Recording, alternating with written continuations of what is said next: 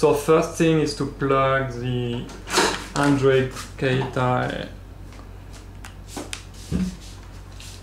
to the computer. You should see it appearing after you click on USB connected and mount.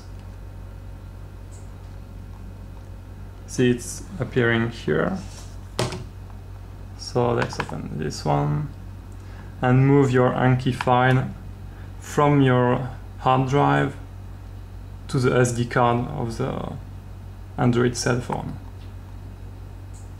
That's done, so we can close this.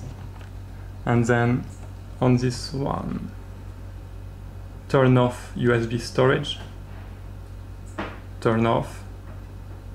It's preparing SD card for a while now that's fine so the Anki file is on the SD card now we just need to install Anki click on market search search for Anki here is AnkiDroid, let's install it. Install.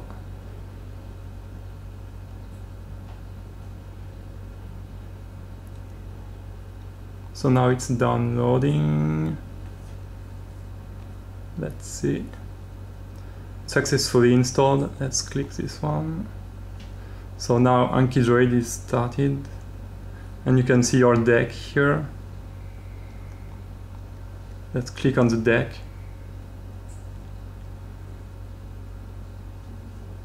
And it's starting. And now you can use